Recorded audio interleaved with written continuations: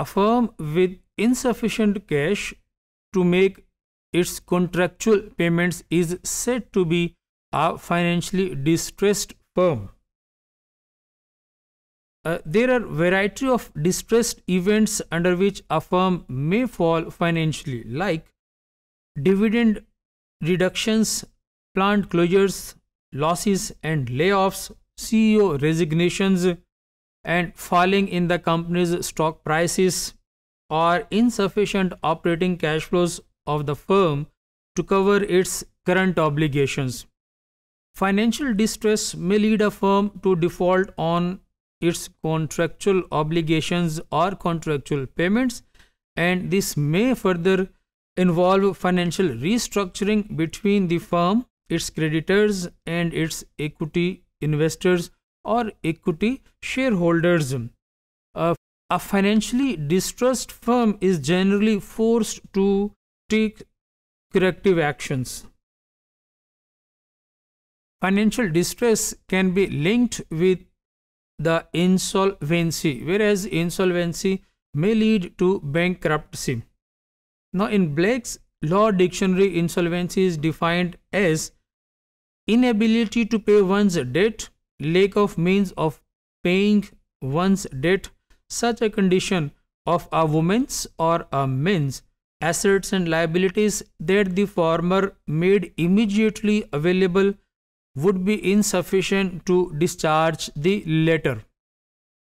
Insolvency can be classified into two forms. The first is the stock based insolvency that refers to a situation where the total assets of a firm are fall short of its total debt and this is a situation that yields negative equity for the firm.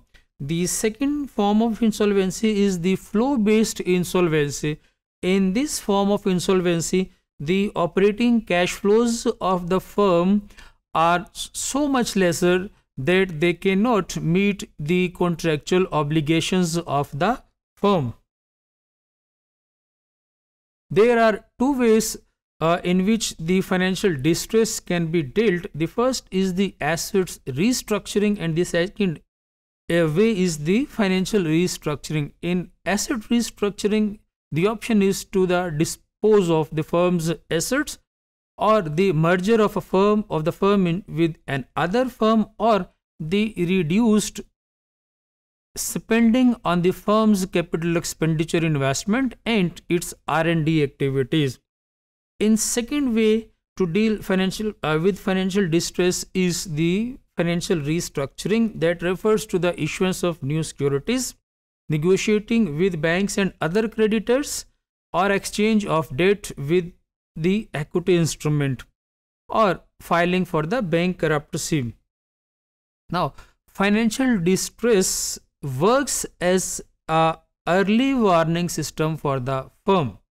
Now, if the firm is leveraged and the firm is highly leveraged, then this high levered firm will be getting this financially disturbance earlier so the firm will have a good time for private workouts or formal reorganization. And if the firm is of low leverage, then this low levered firm will get the trouble at later stages. And in this way, such type of low levered firm will be forced to go for a liquidation. Now, there are two options available with the firm that is unable to choose to make contractual payments. These options include termination of a firm as a going concern and reorganization of a firm as a going concern. In first case, whereas we have termination of firm as a going concern, the firm is ready now for a selling of its assets for a salvage value and the net proceeds from this salvage value is distributed among the creditors of the firm in a, in a preset order.